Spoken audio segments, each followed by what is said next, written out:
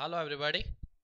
Today we are we will be understanding circles and the angles of the circles. We have to understand few things. First, as discussed earlier, circle is a set of points which are placed in such a manner that they are equidistant from a fixed point. Now, I have already told you that mm, these points have a very crucial role in handling things for the circles. Right? If I am taking these two points, let's say A, let's say B, right? Then AB is a chord, this O is a center. Then if I join AO and then I join OB, there is an angle, right? Now this angle, angle AOB is called as angle subtended by chord AB at center. You have to understand this thing that these two points are making the things happen as a line is passing through this point and going to the center and then from center going to this point. So if I call angle subtended by chord AB at center or I say angle subtended by arc AB at center it would mean the same thing because angle is subtended by the two points and these two points I am referring as from chord point of view or I am referring from arc point of view, it won't mean different things. Right? Now, if I talk about this angle, this angle, if this angle is x degree, then this angle will be 360 minus x degree. Right? Now, what about this angle? Is this angle subtended by any arc or any chord? This angle is subtended by arc BA. You have to understand this thing that line segment AB and line segment BA means same. But when we are talking about circle, arc AB and arc BA does not mean same because in mathematics, we always take things anti-clockwisely. We always take things anti-clockwisely.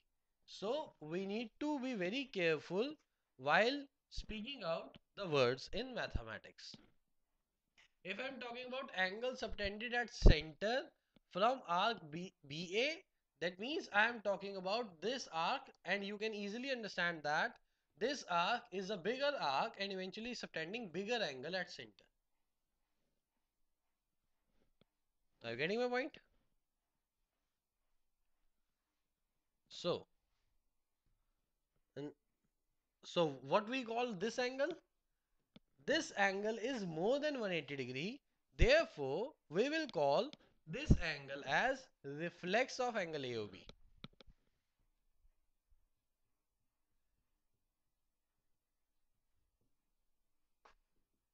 This is angle subtended by arc BA. I hope I am clear with my point so far. Please copy it down by pausing the video. Right? Now, there are certain things which you must understand while talking about circles.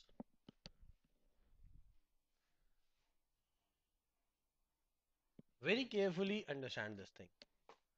There is a point A and there is a point B. I am taking these two points and they are subtending this angle at center. As I told you earlier that what is playing the major role? Major role has been played by these two points. Major role has been played by these two points. Therefore, we must understand one thing. Angle subtended by arc AB at center and angle subtended by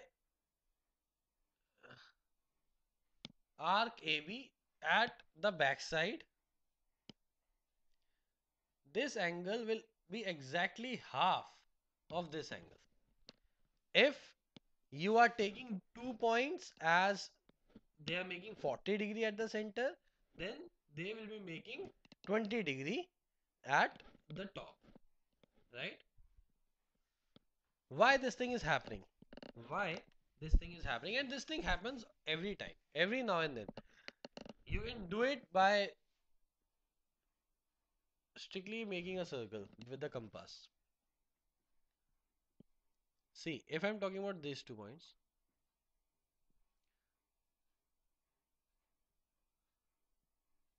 this angle and this angle, right?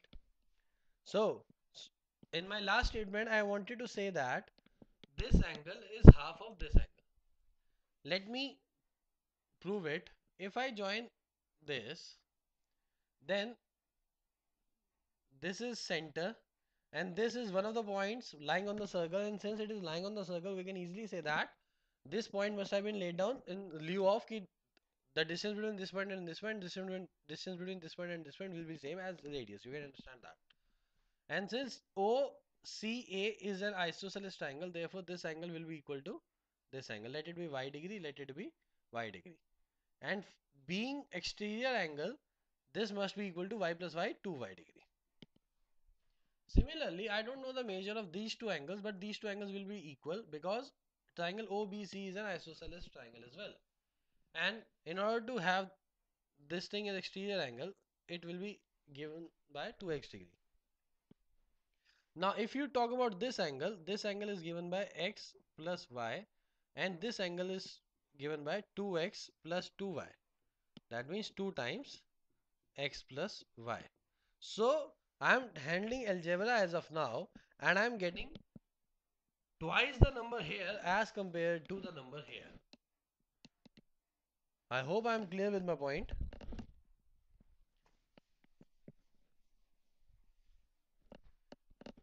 Let me draw a bigger figure.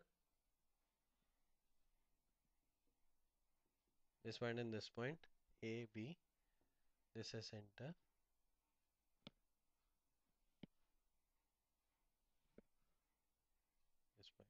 if I'm joining this point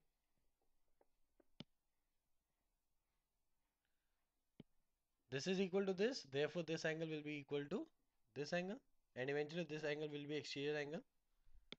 This angle will be equal to this angle therefore this angle will be exterior angle so you can sense that we have got 2y plus 2x over here that is 2 times y plus x whereas this angle is simply y plus x.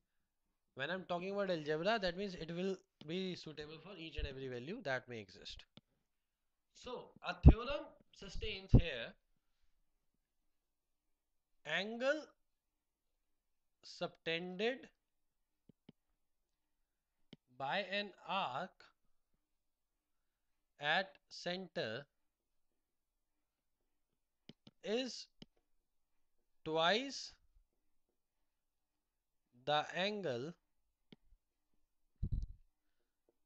subtended by it at any other point on circle. The most important word is other here. Other. Because if I'm talking about this arc, then for this arc, other is this arc.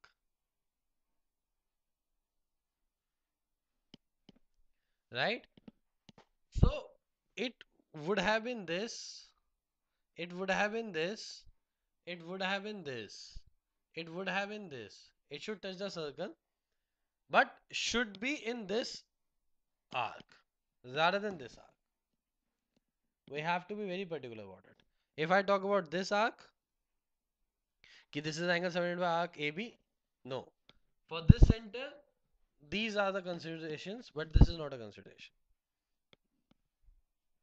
I hope I'm clear with my point. Take care.